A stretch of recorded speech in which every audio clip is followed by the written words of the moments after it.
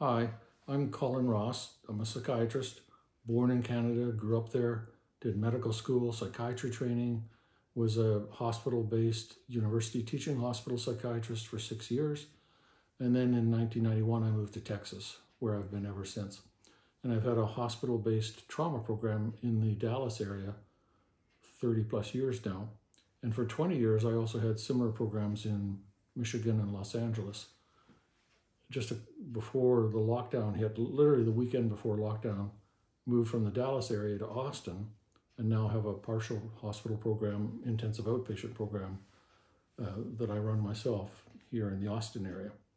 I'm a past president of the ISSTD, got about 360 or so peer-reviewed papers published, 35 books, and one of those books, which is one of my favorites, is Trauma Model Therapy, and Naomi Halpern's a co-author on that. So what I'm going to talk about here for a little while is an idea that's not in any of those books.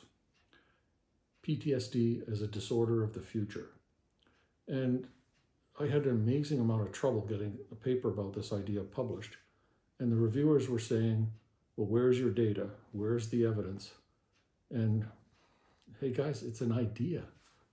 I'm not saying that it's scientifically proven. It's sort of a clinically useful perspective. And apparently that doesn't pass in psychology, psychiatry journals these days. Compared to the field of physics, where there's a whole, the top layer of physics is theoretical physics. Nobody said to Einstein, where's your evidence that E equals mc squared? So it's a completely different attitude. The theoretical guys who do no experiments, have no data, are like at the top of the heap. Whereas in psychology, you're just some sort of flaky speculator or something. So that's a little side comment on the ills of the field. And the idea here is just practical, useful therapy perspective. So if you look at PTSD as a disorder of the future, that doesn't mean you have to do CBT or EMDR or this or that. It's not about the specific tools, it's a perspective. It opens up another domain to talk about, process, think your way through with the client. And so if we look at the history of PTSD starting 1980, which is DSM-3, uh, 1994, which is DSM-4, uh, 2013, which is DSM-5, it's evolved somewhat. So the it's called Criterion A, which is the traumatic event. Criterion A has gotten broadened over the years. Uh, basically, what happened in 1980, going back for five years, was a whole bunch of people working in the Veterans Administration system in the United States with Vietnam vets created, developed, and got PTSD into the manual in 1980.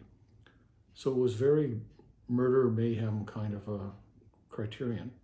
You had to have threat of dying or serious bodily injury. And if you didn't, it wasn't PTSD.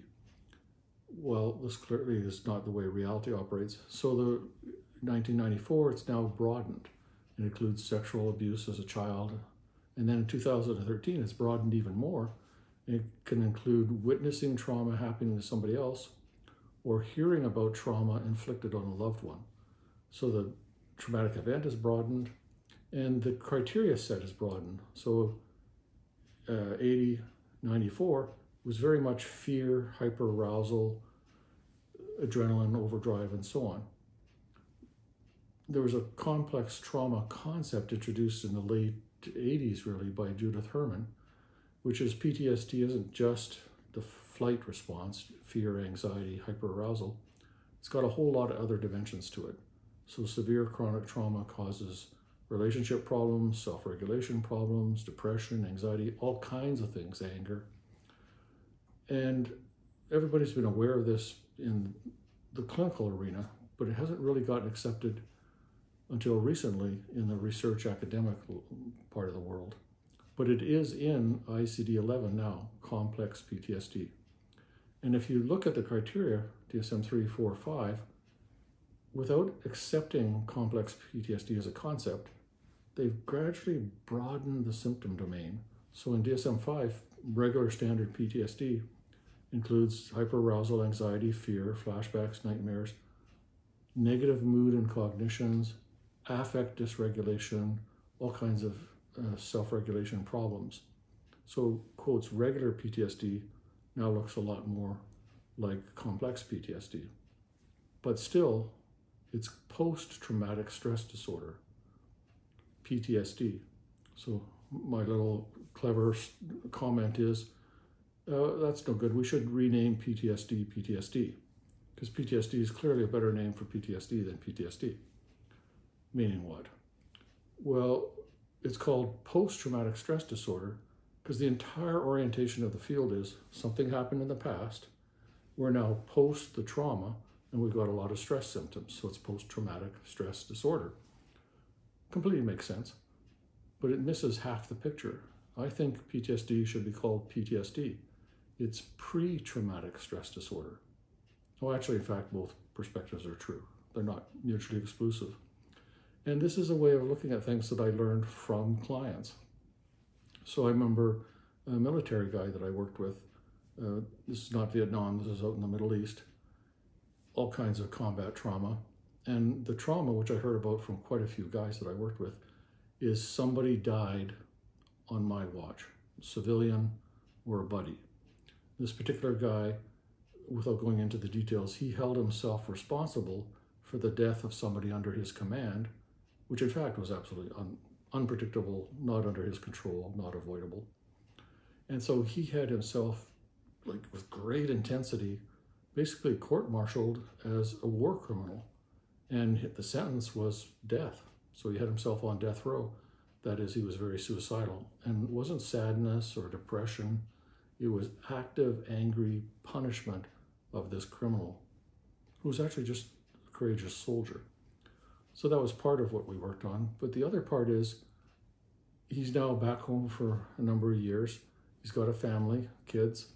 He's in a pretty safe neighborhood by US standards. And there's no imminent danger to the family, to the kids. But he's hyper vigilant, always checking up on them. Where are they? What are they doing? When are they going to be home? And every night he gets up and patrols the perimeter of his property multiple times armed.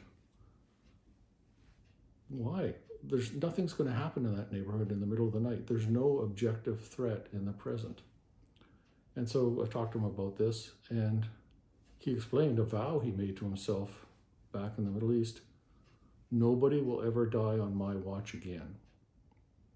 And I went, oh, oh, okay, I get it.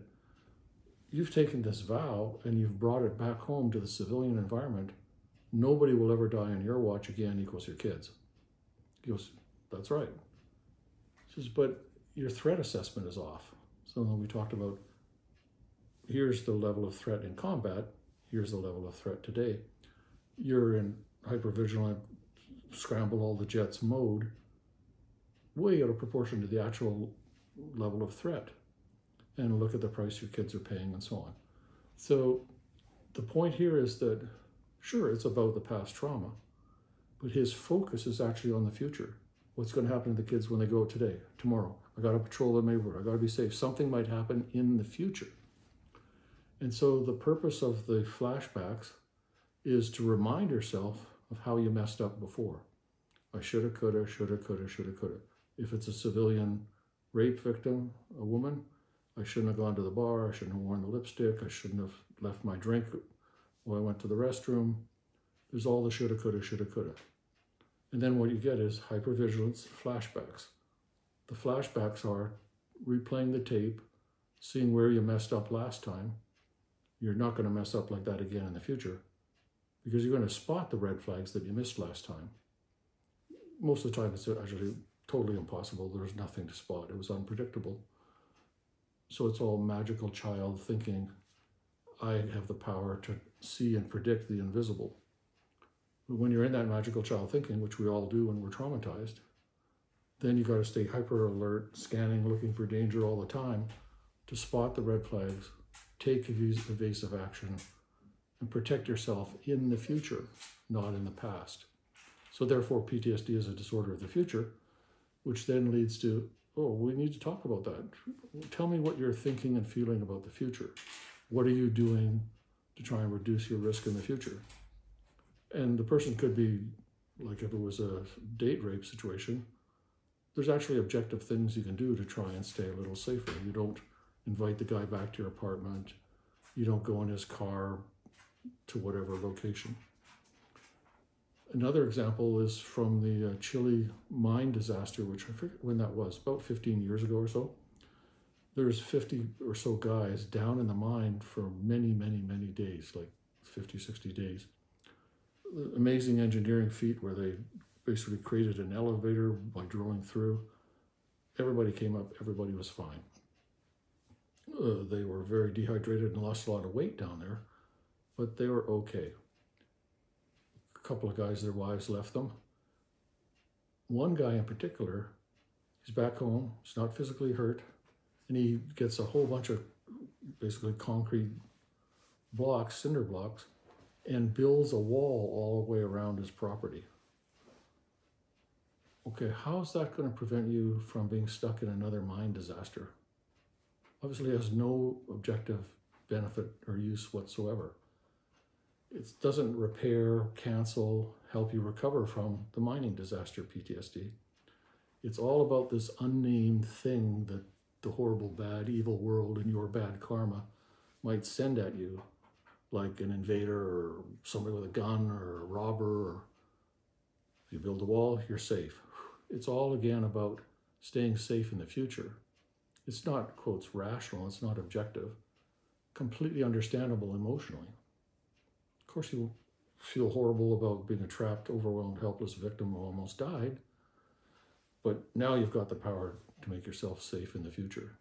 And the question is, what's the price you're paying in terms of hypervigilance, scanning, danger, not trusting anybody, paranoia?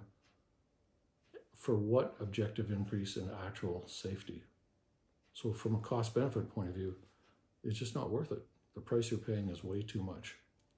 So, that's PTSD as a disorder of the future, which doesn't like cancel the past perspective. It's just another dimension to look into, to discuss, to talk about, to process in therapy.